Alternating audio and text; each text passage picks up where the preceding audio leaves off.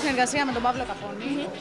Ε, είμαι πολύ ε, χαρούμενη που συνεργάζομαι με τον κύριο Παύλο. Ήθελα πάρα πολύ να συνεργαστώ μαζί του, δηλαδή τον ονειρευόμουν αυτό. Ε, έχει δύο πολύ ωραίες σχολές, έχει πάρα πολλά παιδιά.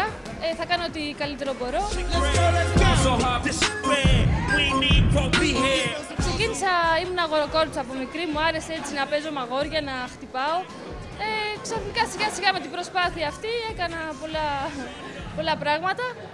Ε, και τώρα αποφάσισα να κάνω και την προπονητική μου.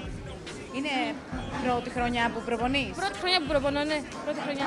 Έχεις λίγο άγχος που θα προπονείς, που θα σε Ε, δασκάλει; ναι, έχω άγχος και ο προπονητής μου μου είπε ότι αυτοί που ξέρουν έχουν άγχος, ενώ αυτοί που δεν ξέρουν νο- νομίζουν ότι ξέρουν και δεν έχουν άγχος. Ε, Και θα τα κάνουν όλα και ναι, λοιπά. ναι, έτσι, έτσι. Τι τμήματα θα αναλάβεις εδώ στον Παύλο; Ε, από παιδάκια μέχρι και μεγάλους, από α, παιδιά που θέλουν να γυμναστούν μέχρι παιδιά που θέλουν να πάνε σε αγώνες. Μια καινούργια συνεργασία με την Τζέννη Τιντασίδου και είναι η πρώτη χρονιά φέτος που δοκιμάζει το ρόλο της προπονήτριας.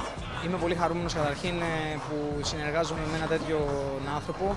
Ε, πρώτη μου προτεραιότητα ε, η συνεργασία στο Diamond Camp, γενικά οι συνεργασίες που κάνουμε στο Diamond Camp να είναι καλά παιδιά. Ε, η Τζέννη είναι ένα φανταστικό παιδί και μετά μια καταπληκτική αθλήτρια. Είναι η πρώτη φορά που δοκιμάζουμε αποκλειστικά να κάνουμε τμήματα και στα δύο Diamond Camp και στο ελληνικό και στην Δάφνη ε, πυγμαχίας, αποκλειστικά τμήματα πυγμαχίας, όχι απλά ε, να βάλουμε πυγμαχία για να βοηθήσουμε τους αθλητές του Muay Thai. Αυτό δεν σημαίνει φυσικά ότι και οι αθλητές ε, του Muay Thai δεν θα έχουν την ευκαιρία να μπορούν να πυγμαχήσουν καλύτερα ε, και να εξειδικεύσουν λίγο καλύτερα τα χέρια τους.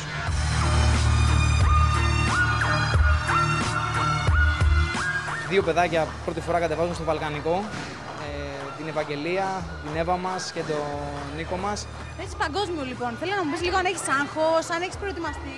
Δεν έχω προετοιμαστεί, αλλά έχω και πολύ άγχος. Δε. Είναι η πρώτη φορά βασικά Ναι. έτσι. Πόσο χρονών είσαι; 13. 13. Και πόσο καιρό κάνεις Muay Thai; 6-6,5 εκεί.